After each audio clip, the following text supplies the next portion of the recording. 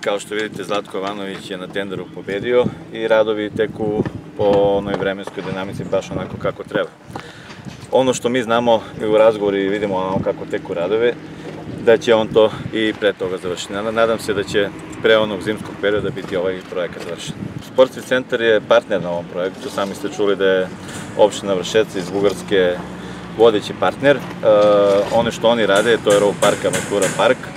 Ono što mi radimo je Adrenalin park, iza naših leđa je znači, taj skate park, valovita biciklistička staza i podloga za veštačku stenu. Veštačka stena će biti iz opštinskog budžeta, iz gradskog budžeta i trenutno smo u razgovorima sa Plenarskom Save Srbije kakva će najoptimalnije biti, kakva je veštačka stena optimalna za naš grad. E, šta mogu da kažem? Da je opština Vršec odličan partner, da sa njim nemamo, sa tom opštinom imamo vrlo dobru saradnju, jer Sport centar Pirot već e, tri poziva učestvuje na, na projektima. E, mogu da kažem da je Sport centar ima svoj tim koji sam piše i sam realizuje projekte i da smo za nov poziv e, već spremili tri nova projekta.